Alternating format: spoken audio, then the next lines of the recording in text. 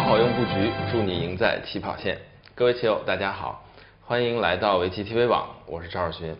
啊，今天还是很高兴啊，跟我们做客演播室的是资深的棋迷，啊，赵哥，赵哥你好。你好，大家好。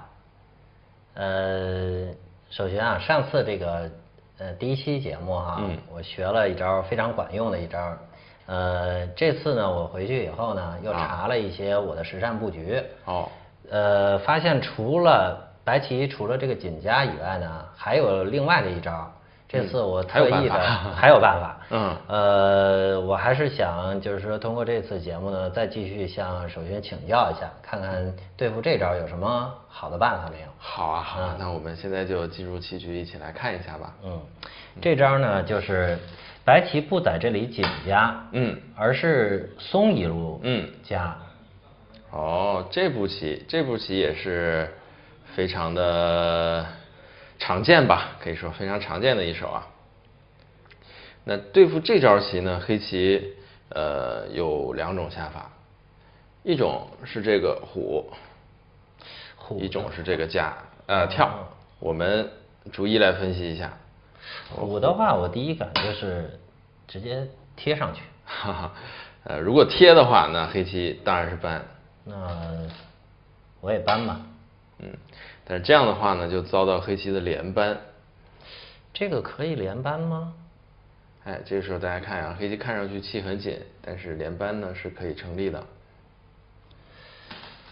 我可不可以打这个呢？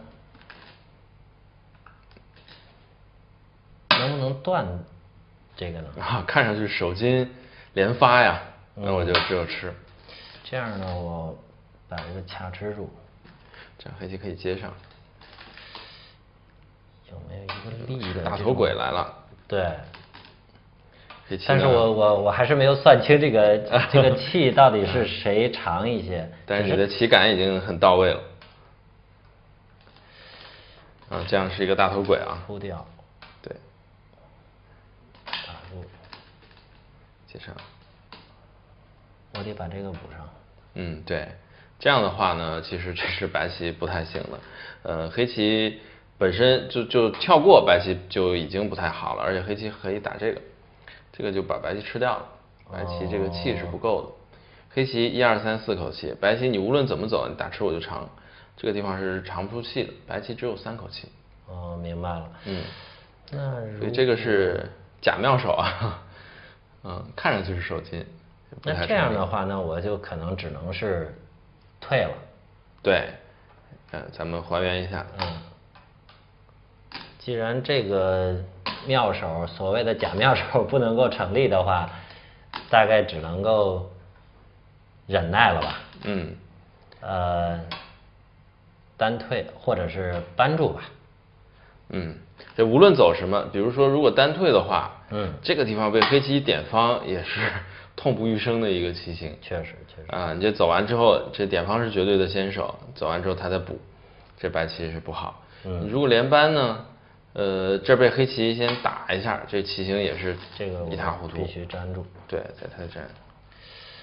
那我就把这个子吃掉吧。对，这时候黑棋不能跑了，但是也没关系，不跑的话，呃，就打外面就可以了。那我还是要把这个粘住。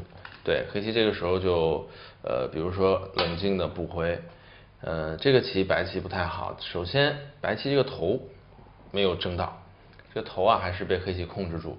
呃，接下来白棋不论怎么拐也好，还是飞也好，这都是呃在后面，头在黑棋的后面。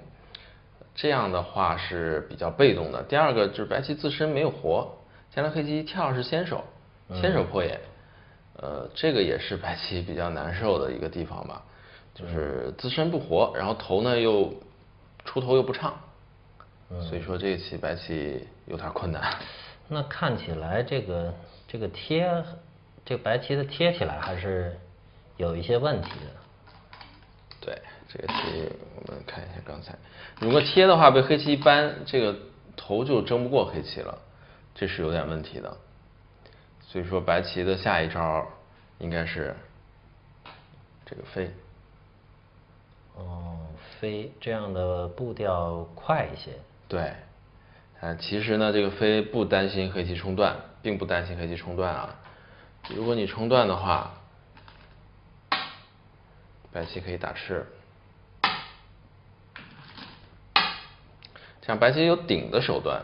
嗯，所以说这个棋黑棋吃的非常小，而且外面是很受伤，啊，外面这个子伤的厉害，人家一顶了搬过来，这黑棋肯定是不行的。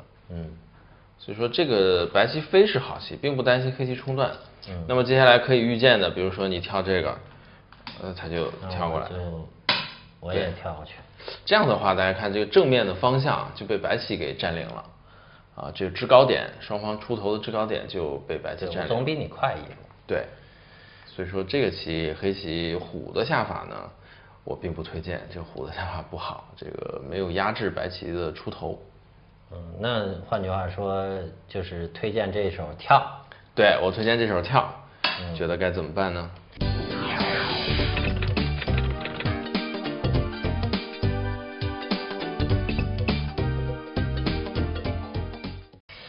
我的第一感跳的时候呢，要紧凑的靠上去。这个感觉非常棒啊，啊，这感觉太好了。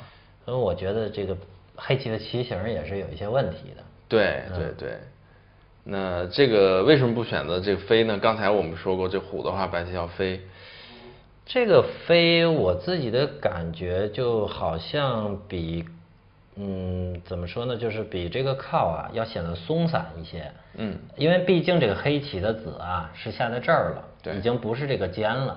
对所以的话呢，总感觉这个地方将来好像会有一些问题，对，相对来说比较薄一些。是的。嗯，比如很简单的，黑棋还是跳，那么你再跳的时候，是不是就有点心里不踏实了？哦，这个可能黑棋有可能将来就是会跨跨断。对，这就有跨断的手段，就是非常的明显。所以说这个棋，白棋飞确实不是好形，这个棋要靠。靠的时候呢，大家注意，这个时候黑棋必须要补断了。呃，黑棋这个时候不能在上面搬或者长都不可以。哎，为什么不能搬呢？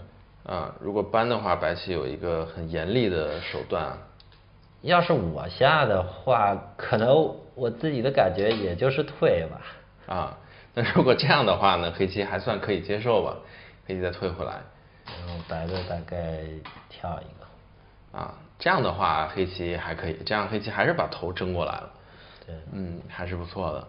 但是实际上白棋有一招妙手，就是一举可以将黑棋击溃啊，在你啊搬的时候，有这么厉害的手段？嗯，呃，这个妙手呢，当然不是这种虎，这这是很俗的下法。那虎的话，这遭到人家这个当头一棒，这先打一吃，这个直接就打昏过去了，呃，所以说这棋呢不是虎在这儿，是直接二路断。哦哦哦，直接二路断。由于有了这个靠这个子，那所以黑棋这个棋形的弱点就体现出来了。那我转换吧，嗯，我就你既然这儿不硬，我就吃这个。对，这个转换 是只有选择转换。这时候你如果吃这个的话呢，它可以打过来，大家就可以看到区别。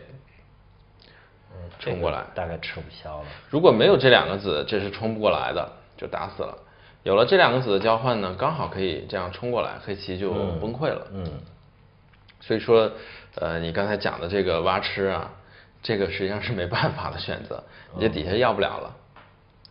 但这样白棋就打吃，打吃的话呢，我就把这个地方尝出来吧。哎，这这个棋黑棋一第一黑棋是落了后手，第二的话白棋这个目数吃的就相当实惠，呃，不知道大家对这个我们之前的一集还有没有印象啊？也是黑棋的一个弃子啊，但是跟这个真的是天壤之别。嗯那个黑棋弃子呢是争当先手，同时比这个棋要厚。嗯但是这个这个现在我们简单对比一下就可以看出来，这个关键在不成。布局的时候落了这个后手太大了。对，这个不成。哦，这样。啊，这之所以这样，黑棋就是搬不可以不成立。对，搬不行，嗯，但是推这个也不行，同样还是有断，所以黑棋现在必须要护住自己的断点了。啊，那这个时候呢，黑棋也是有两种方法，呃，第一种这个退也是不推荐的下法，退一个不好。退一个我只能粘住。对，这样的话，大家可以显而易见的看出来啊，呃，我们刚才讲打入的时候，黑棋虎这个不好，不好的原因呢，是因为白棋可以飞。那白棋如果贴的话，黑棋当然是扳头，大家还有印象吧？我们刚讲过，这个黑棋要扳连扳，对，把这个头压制过去，这样白棋非常难受。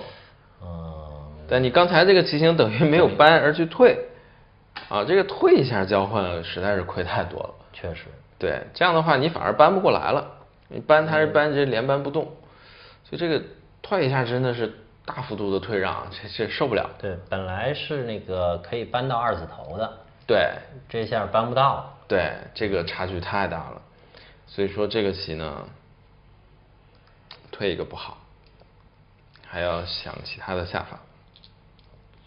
黑棋正招是走这个，哦，这个类似的棋我也曾经见过。嗯，这个要挖，挖是很厉害、很正确的下法。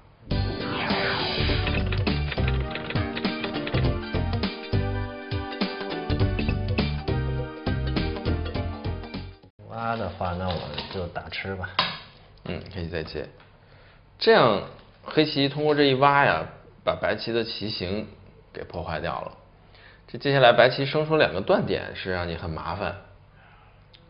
呃，我先接这个接底下的话，呃，就不太好。接底下的话，这个出头实在是差太多。但是看这个白被黑棋挖成这样，刚才是这样的，对吧？这个大家可以比较一下，就能够一目了然。这挖成这样，这个亏太多了。接下来黑棋就简单的跳出，你这白棋自己走都不好走，出头自己走都很难受了。而且最关键的是，这个本来白棋很舒服拆二的地方，已经有了一个黑棋的一个对，顶人家早早有伏兵了，早就在这等着你呢。所以说这个棋作战显然白棋这是很无趣啊，对吧？人家头在前面，哎，你自己又这么重，这打入进来就很失败。嗯，这样子，那就看起来只有粘上面。对，只有粘上面这个棋。那你站上面，它也是跳出。这跟刚才的区别呢，就是在于，比如说白棋也可以跳，就是说这个地方多了一个断点。这个断点刚才我们也讲过，这断点不严厉啊。首先我们说这断点呢没有那么厉害，断点它伤这边，呃，白棋又打了顶，这个黑棋不大。呃，但是我们还是要说一句但是，但是这个断点呢，它是白白夺出来的。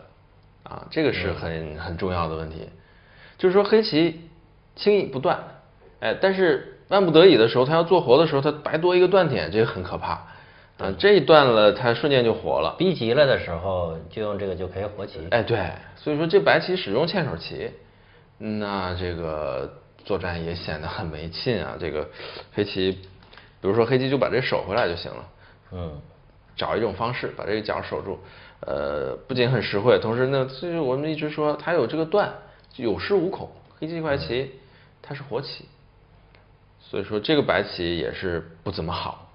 嗯，那这个挖的时候呢，啊，就是实际上白棋啊，我们再给大家多讲一下，这白棋还有一招好棋，就这个时候有一招时机啊，掌握现在的这个时机，有一步妙手就是顶在这儿，趁着你挖的时候，他先顶一个。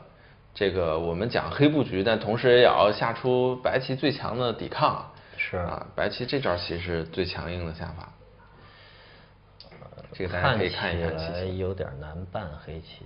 对，接下来这儿一个断点，这儿一个断点，看上去很难两全了。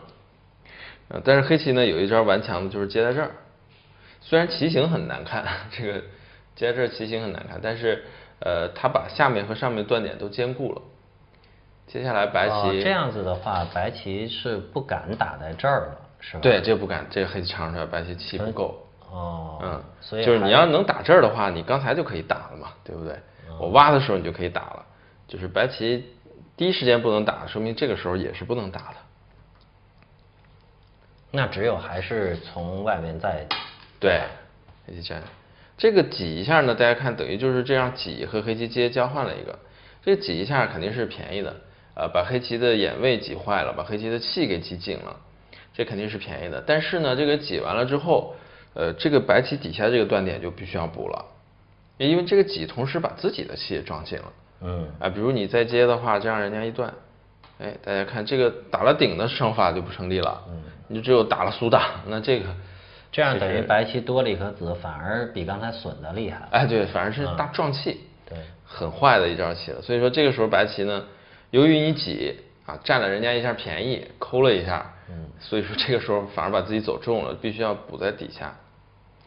那其实跟刚才啊是大同小异的，黑棋就跳出头，这跟刚才大同小异。白棋自己一块棋很重，啊出头呢又不畅，头在人家后面，哎，同时你又眼位又不够，被人家逼住，呃黑黑棋呢自身是没有什么太大的问题的，所以说这个棋白棋就很无趣，嗯。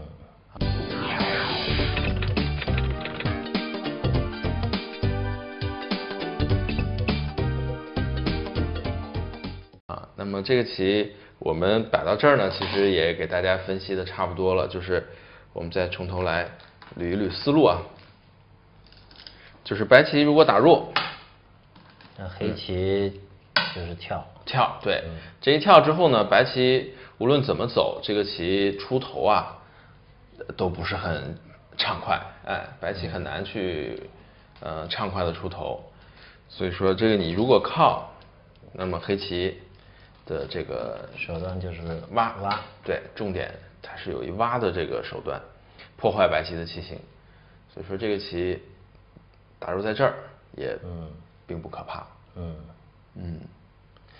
首先啊，刚才你讲了关于这个变化啊，我我我自己感觉就是黑棋和白棋在这个局部的一个变化哈，好像一直都在抢头。对。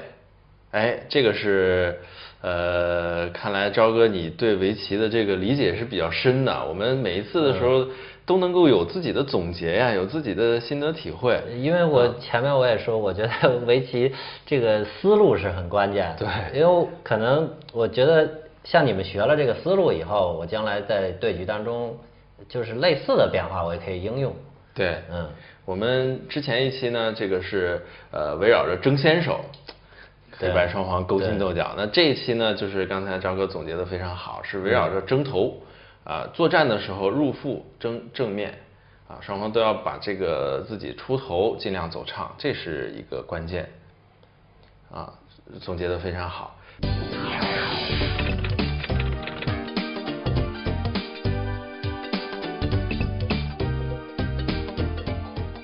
那么今天的节目呢，我们也就。先告一段落，那接下来还有一些其他的变化，我们在下一期中继续为大家进行讲解。好的，那么咱们本期节目就到这里，感谢您的收看，我们下期再见，谢谢大家。